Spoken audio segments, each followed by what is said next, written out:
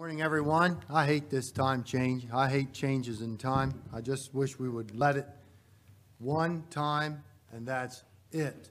Uh, Somebody in Congress must get, or in the government must get a paycheck from doing this, so they keep it propagating every year upon us. Open your Bibles to Acts chapter 17, verse 11. We'll try to get there today.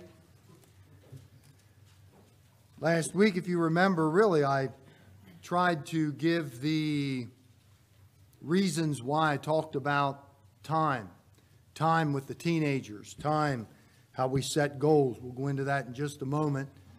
Today, I'd like to give you some reasoning uh, why I tell these uh, teenagers that if you woke up today in America, you just hit the lottery. What opportunities we have in this land. Those opportunities I'd like to see passed down to the next generation and the next generation and the next generation. If you do not, do not have a handout and would like one, would you raise your hand, please? You got them last week. Perhaps you weren't here, or perhaps you forgot yours at home.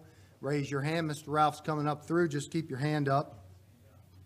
If you remember last week, I generally start out, or I start out with the teens, tell them, you know, today is March 14th, 2021.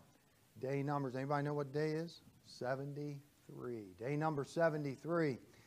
292 days left in the year. What have you done with the last 72? They're gone. Forever gone. I challenge the teens as I challenge myself. Dreams are only dreams until you write them down. Then they become what?